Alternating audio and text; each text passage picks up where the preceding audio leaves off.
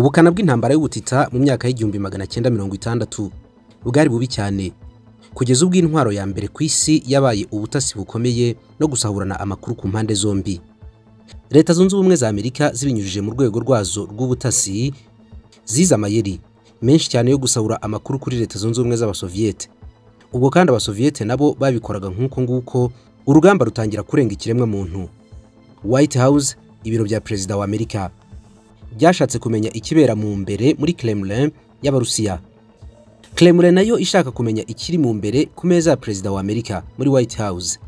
Hari aho byageze ikiremwa muntu gisa naho kinaniwe. Nticyahazwa n'amakuru kirimo kibona mu bijyanye n'ubutasi. Abatasi b'abana b'abantu ntabwo babashije kubona ibyo bifuzaga byose ku makuru yerekeye umukeba. Abanyamerika bahisemo kwiga uburyo bwose bwo gusahura amakuru bakoresheje inyamaswa amatungo yo mu ngo n'inyoni. Mu myaka y'igihumbi magana cyenda mirongo itandatu ubutasi bwa seya central intelligence agency mu ishami ryayo rishinzwe iby'ikoranabuhanga na siyanse bahimbye umushinga karundura witwaga acoustic kite uyu ni umushinga wo gukora ubutasi hakoreshejwe ipusi abandi mwita injangwe. Impamvu hatoranyijwe injangwe ni uko ari inyamaswa zisanzwe zibana n'abantu kandi zigatindana nabo umwanya munini nta kuzishisha. Abantu nabo iyo babonye injangwe hari abazigirira impuhwe cyane ku buryo bashobora no gutindana na zo bakanazigira inshuti. Seya yatoranyije injangwe z'ibara ry'umweru n'ikigina cyangwa se ibara ry'umweru ririmo ibara ry'ikivuzo irazegeranya.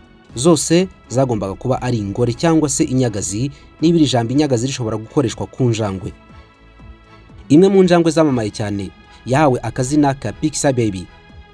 Niyo yahereweho mu kubagwa ishyirwamo utwuma tw'ikoranabuhanga mu gushakisha no gusahura amakuru. Izi njangwe zahawe amabwiriza yo kujya gutata ibiro bya Kremlin. Bikorerwamo na perezida wa leta zunze ubumwe z'abasoviyete injangwe zagombaga gutata ibi biro ariko n'izindi nyubako z'agatangaza zirimo nk'amambasade y'ibihugu bikorana bya hafi n'abasoviyete yaba inyubako ziri muri amerika no hanze yazo. Acoustic kite wari umushinga uteguye neza. Wo guha ubutumwa injangwe ngo zijye kuzana amakuru aho byifuzwa. Injangwe zisanzwe zatojwe kubana n'abantu no kubagenda uruhande zaratoranyijwe zose zishyirwa ahantu hamwe ariko zihabwa andi mafunzo cyangwa imyitozo ikaze.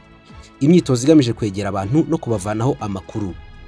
Mu gihe kingana cyangwa se gishobora kurenga isaha imwe gatoya ubutasi bw'abanyamerika bwafataga injangwe bukayishyira ku iseta.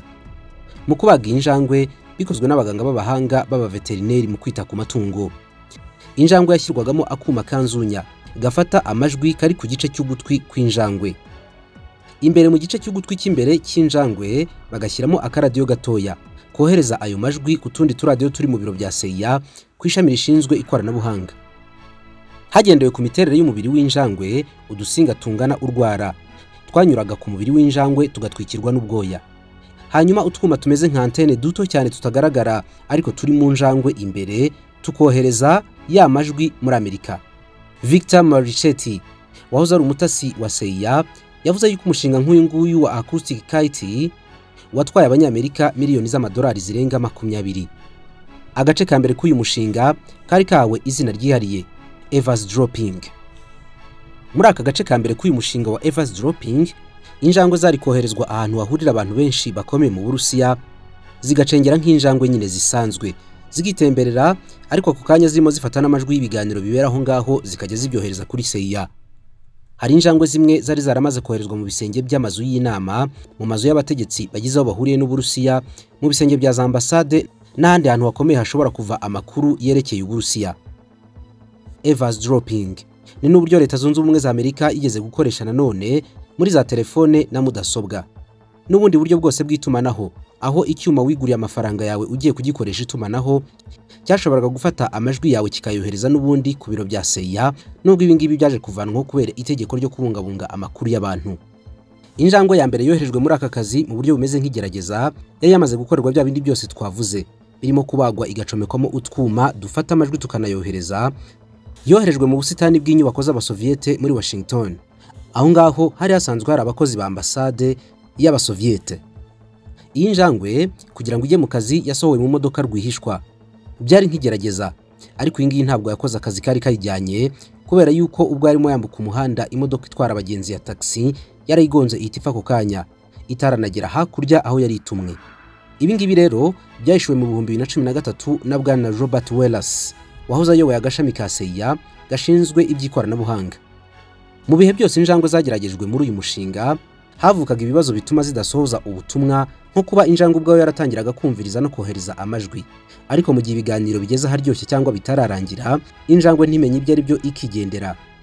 Kuba injangwe itarize ubwenge bwo guhitamo aho yajya gufatira amajwi heza cyangwa abo yakorana nabo n'izindi mbogamizi nyinshi. Byasabaga imyitozo y'umurengera ku njangwe. Robert wells yahishuye yuko uyu mushinga wari umaze gushorwamo miliyoni makumyabiri z'amadolari y'abanyamerika. Ariko iki gihe n'ubundi wari utaragenda neza.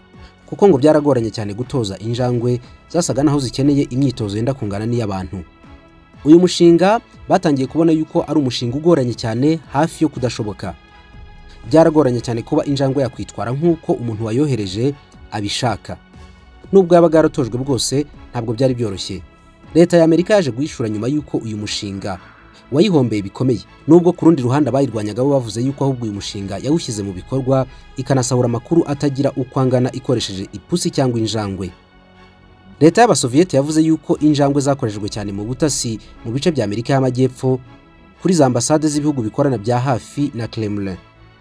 Nyuma y'imyaka irindwi abanyamerika bagerageza ubutasi bukoreshejwe injangwe mu gihumbi magana cyenda mirongo itandatu na karindwi bahagaritse ubu buryo.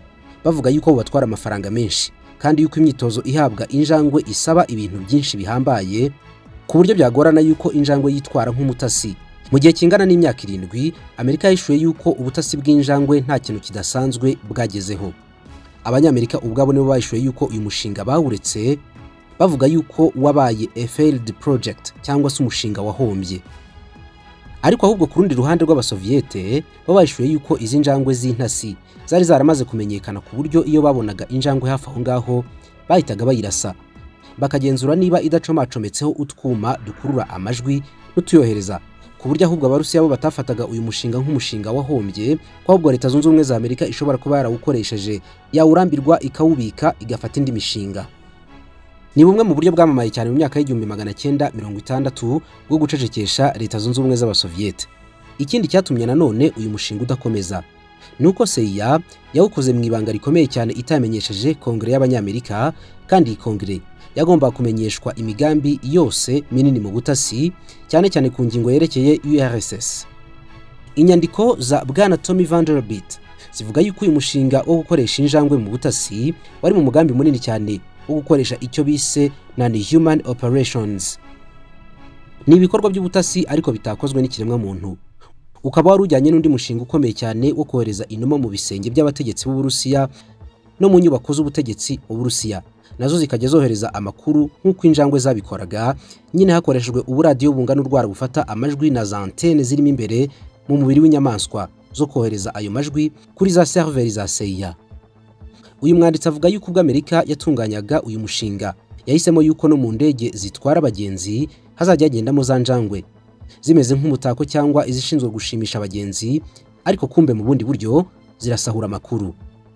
Cyakora ibyo gutwara injangwe mu ndege byo byaje kwangwa n'abanyamerika ndetse n'abatasi bamwe na bamwe ba seya bavugaga yuko bishobora kubangamira cyane abagenzi kandi bikanabangamira uburenganzira bw'inyamaswa zigomba kwisanzura no kutagendeshwa mu kirere igihe kingana gutyo.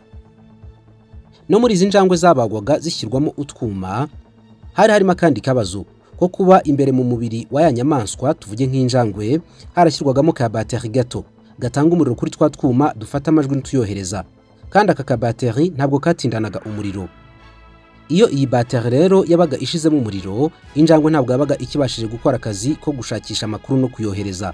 Kuko twa twuma dufata n'utwohereza amajwi twahitaga tuzima natwo ahubwo bigasigara ari umutwaro ukomeye cyane kuri ya njangwe kuko ntabwo bashoboraga kongera kuyibaga ngo badukuremo. Ibi byose byatekerejweho nyuma mu bashinzwe ikoranabuhanga muri seya babitindamo cyane baza gusanga nyuma y'imyaka irindwi bagomba guhagarika uyu mushinga. Umwanditsi Matson yako yanditse yuko naho igihe cyari kigeze icyo gihe ikoranabuhanga ritari rishamaje cyane. Ibyuma byashyirwaga muri izi nyamaswa byashoboraga kuzitera ibibazo. Kubera yuko bitari no ku rwego rwiza rwo gutanga umusaruro wifuzwaga mu butasi. Ku buryo ngo byashoboraga kuba byanafata imyaka itanu kugira ngo injangwe ibe itanze umusaruro nyawo. Kandi n'ubundi mu myaka itanu injangwe iba ishobora kuba yashaje cyangwa yaranapfuye. Kari akazi katoroshye ku batasi b'abanyamerika. Ariko nta kundi byari kugenda bari bakeneye amakuru arenze kuyo bafite ku bijyanye na leta zunze ubumwe z'abasoviyete ariko nanone ntabwo byabujije kuba byarafashije mu butasi. Ikindi cyatumye uyu mushinga utagerwaho ku kigero cy'ijana ku ijana ngo ni uko ibyuma byashyirwaga muri izi njangwe. Byari birimo twa antene duhuza inzira z'amajwi. Byatumaga zimwe mu njangwe zimera nk'izasaze kubera imirasire myinshi yazinjiragamo. Ivuye mu minara mu guhererekanya aya makuru. Ntizigume kumera nk'uko injangwe zisanzwe zimeze ahubwo ugasanga zimeze nk'izasaze burundu. Cyakora muri iyi minsi ya mbere y'igerageza abaganga bashinzwe ibijyanye no kubaga izi njangwe no kuzishyiramo ibikoresho bandikiye leta zunze ubumwe za amerika. Bayimenyesha yuko ibintu bishoboka koko. Mu nyandiko ngufi yabise our views on trained cats abaganga banditse igisa n'icyemezo berekana yuko isuzuma ry'injangwe ryakozwe rigaragaza yuko gutata kuri izi njangwe bizashoboka.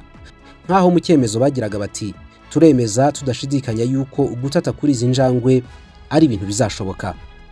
Aba rero nibo bahise batanga uburenganzira kuri izi njangwe nyine kugira ngo zitangire akazi ko gutata.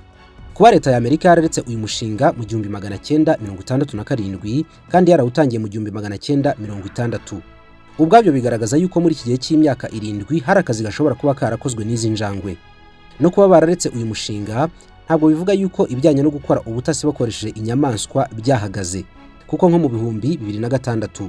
Seya yafatanyije na pentagon's defense advanced research project agency ikorera mu gisirikare cy'abanyamerika. Bemeje n'ubundi yuko inyamaswa zo mu gasozi hamwe n'amatungo yo mu ngo bigomba kongera kwifashishwa mu butasi bw'abanyamerika ku nyungu z'umutekano. Ndetse mu bihumbi bibiri na karindwi umushinga uratangira habanza gukoreshwa inyamaswa zo mu gasozi mu kugenzura amashyamba n'umutekano wo ku gasozi. Uyu mushinga byitezwe yuko ushobora kwagurwa ukagera no ku nyamaswa z'inkazi ziri mu gasozi zishobora kugenzura imipaka y'ibihugu bimwe na bimwe. Mwakoze kubana nanjye naho ubutaha.